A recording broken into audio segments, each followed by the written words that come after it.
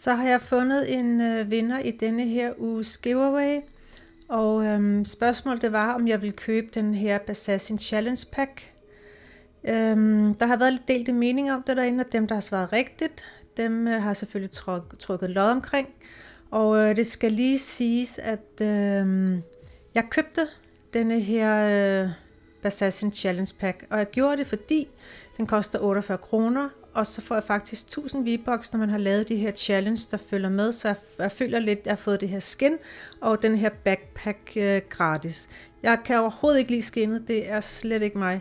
Øh, Lukas er helt vild med det, jeg har det faktisk også, og han synes også, at øh, jeg skulle købe det. Men øh, det jeg allerbedst kunne lide, det var faktisk den der backbling. Jeg synes, den er helt vildt sød. Så øh, ja, jeg købte simpelthen øh, den her Assassin Challenge Pack, og øh, af dem, der så havde gættet rigtigt, der har fundet en vinder, og vinderen er Bravey FN. Tillykke til dig. Øh, jeg tror ikke, vi er venner inde i Fortnite. Jeg kan i hvert fald ikke finde dig på det her navn.